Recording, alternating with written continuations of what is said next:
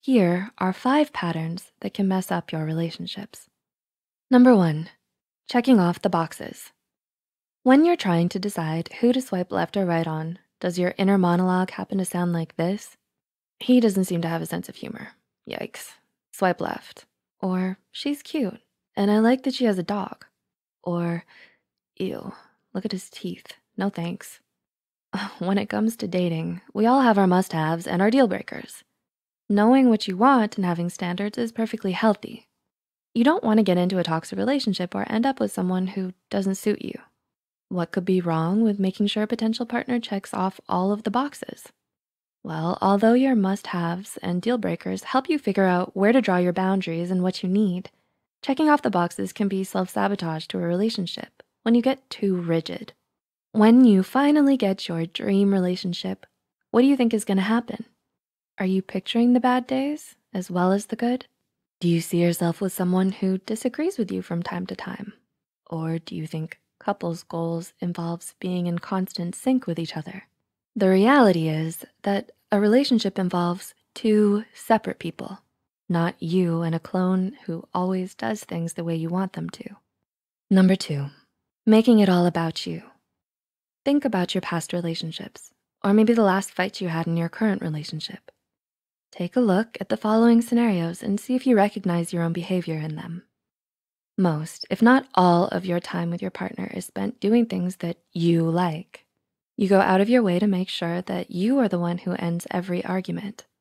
You manipulate all arguments to make sure your partner is the one who apologizes first, even if you were in the wrong. You use guilt or ultimatums to get your way. No situation is completely black and white, but it might be time to honestly evaluate your relationships if anything in that list sounds like you. Making too many demands can have your partner question the relationship, make them feel bad about it, or feel bad about themselves. They might also just get fed up and leave. Constantly demanding your way chips away at the relationship over time. Research has shown that people who are self-centered tend to experience temporary happiness from material and external things, but less authentic happiness overall. Not only can selfishness make you unhappy, but it can also make you less attractive to potential partners. Number three, making it all about them. Did you know that you can be too selfless in your relationship? Do you recognize yourself and your behaviors in any of these following scenarios?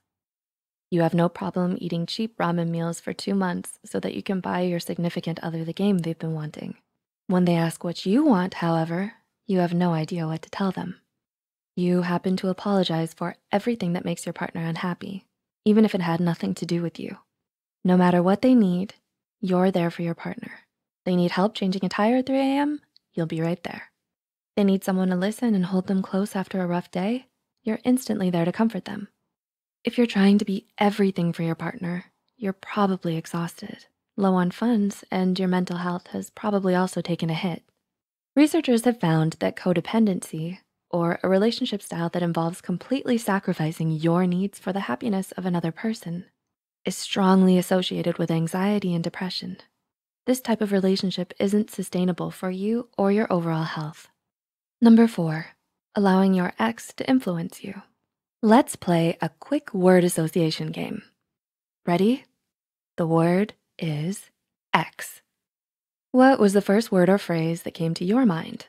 Was it gold digger, evil troll, the one that got away, great person, bad timing? Now think of every relationship you've had since that ex. How did your ex shape your future relationships? Did you go out of your way to find someone like them? Or did you do a complete 180 and found someone who's entirely different? Or maybe that ex caused you to avoid relationships altogether for a long time. You might have kept ties to your ex for a variety of reasons. Sometimes you have children together and need to co-parent. Or maybe your ex started out as a coworker or part of a larger friend group. Perhaps the relationship stands out because it was your first relationship or your most toxic relationship. Maybe you feel guilty or have a ton of questions about how it ended. Whatever the case, allowing your ex to rent too much space in your head may be keeping you from finding a healthy, long-term relationship.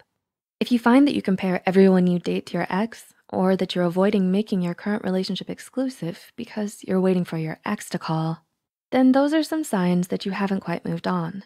When you're stuck thinking about the past, you're less satisfied with your current relationships and friendships, leading you to put less effort into those relationships. And number five, overlooking red flags. All relationships involve give and take. Part of the process is understanding when you need to let something go and when you need to stand up for yourself. A red flag is an issue that is too big to make the relationship work. Where do your boundaries lie? Which issues would you excuse? Which issues would force you to show someone the door? Figuring out what is a minor issue and what will not work for you is only half of the battle. You then have to decide what you wanna do with the answers you get. Refusing to look at major lingering issues between you and your partner creates toxicity in the relationship. Did you notice any of these relationship patterns in your past or current relationships? Did this video open your eyes at all to the negative patterns that can pervade your relationships? Tell us about your experiences in the comments below. If you think this video helped you or you think it could help someone else, please like and share it. The studies and references used are listed in the description below.